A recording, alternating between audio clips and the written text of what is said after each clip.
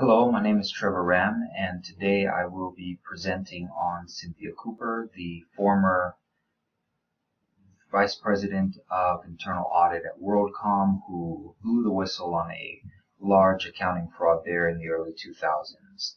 As I go through my presentation, I'll discuss how she blew the whistle and the ways in which she uh, followed both the IMA's ethical conflict resolution statement and some of the advice given by Dr. Badaracco in his article entitled We Don't Need Another Hero.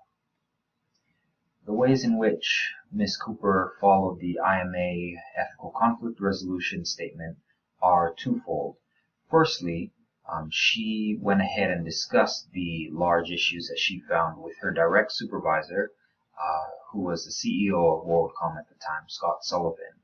Now, finding that Mr. Sullivan was somewhat, not somewhat, but actually totally complicit in committing the fraud that she was uncovering, Miss Cooper then went ahead to the audit committee and discussed with them um, the discrepancies in accounting that she found Mr. Sullivan to be perpetrating within WorldCom.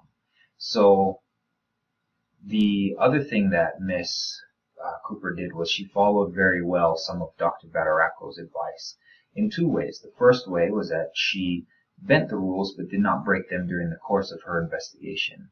Miss Cooper's team often was working late, uh, odd hours in order to keep their investigation concealed from Mr. Sullivan and others in WorldCom.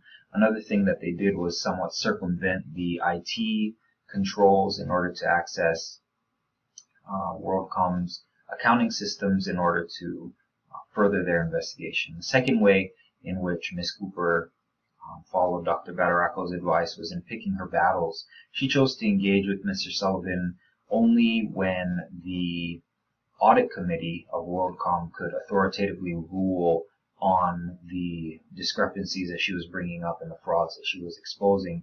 And in fact, she did this so effectively that it led to Mr. Sullivan's uh, forced resignation by the audit committee. And so, um, because she followed the IMA conflict resolution doctrine as well as the um, the advice of Dr. Badaracco, I feel that Ms. Cooper was a very effective and ethical whistleblower from whom we can all learn a lot. Thank you.